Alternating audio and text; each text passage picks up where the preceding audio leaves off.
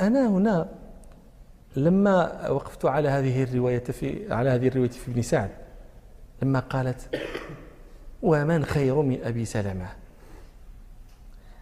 أسأل كم من النساء الآن نساء المسلمين اللائي إن سئلن عن أزواجهن قالت ومن خير من فلان؟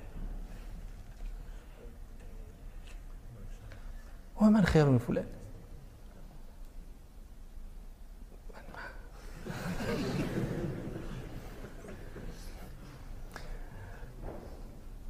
لماذا هذا؟ مع أن ربنا سبحانه وتعالى يقول وعاشروهن بالمعروف. المرأة أحيانا قد تنتظر وفاة زوجها قد تنتظر خروجه شحال من واحد الآن يريد أن يأخذ التقاعد النسبي؟ قل لي امرأة لا. جالس لي في الدار تكتري غوات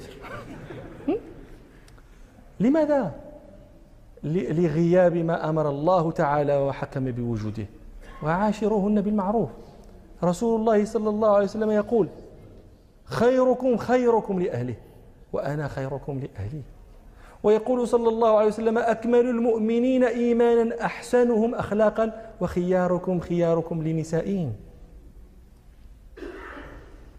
وقد سمعتم عاتكة ترثي آه، الزبير العوام. ترثيه أبقى فيها أنا لا أنا لا أنكر أن كثيرا جدا من النساء إن مات زوجها بكت وولولت وكذا. لماذا؟ لهول المصيبة. للفقد. قيل قال مرة معاوية بن أبي سفيان رضي الله عنه إن الكلب لو اعتدته ففقدته لوجدت لفقده ألما. ماشي إنسان. ولكن المسألة هي في الاعتياد. نحن نسأل عن الاعتياد. مع أنه هذا موجود في النساء. مرة سئلت وكنت حاضرا امرأة عن زوجها فقالت ما تتمناه كل امرأة. أظن أنه سيدخل الجنة أول الداخلين لما يعاملني به. ومرة سألتني امرأة عن زوج لها مرض يعني تكاد تجن لذلك الذي نزل بزوجها لأنه كان شديد الرفق بها شديد اللطف بها. أيعجز الرجال أن تقال أن يقال فيهم هكذا؟ يقول ابن دريد رحمه الله وإنما المرء حديث بعده فكن حديثا حسنا لمن وعى. كن حديثا حسنا لمن وعى ولكن لمن؟ للأباعد. فلان البعيد الذي يراك مرة في ستة أشهر يقول فلان نعم الرجل. والتي تضاجعك تقول بئس الضجيع.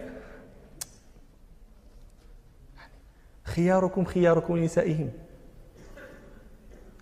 هذا مجال التأسي. هذا مجال الاقتداء هذا مجال الاستنان برسول الله صلى الله عليه وسلم. مرة يحدثني أحدهم يقول أنا مزوج أربعة ديال العيالات ومسكنهم في دار وحدة.